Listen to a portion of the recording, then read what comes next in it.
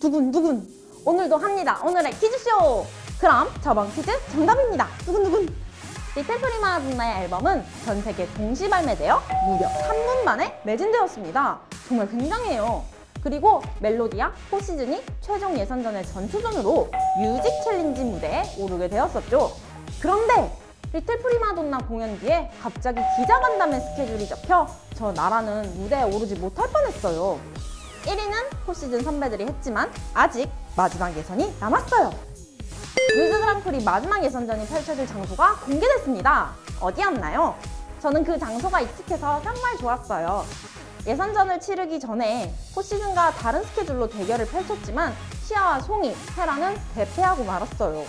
그리고 마지막으로 제가 뮤지컬 앵콜 공연 기자회견에서 기선제압을 하려 했지만 어떠한 발표 때문에 그조차도 못했죠.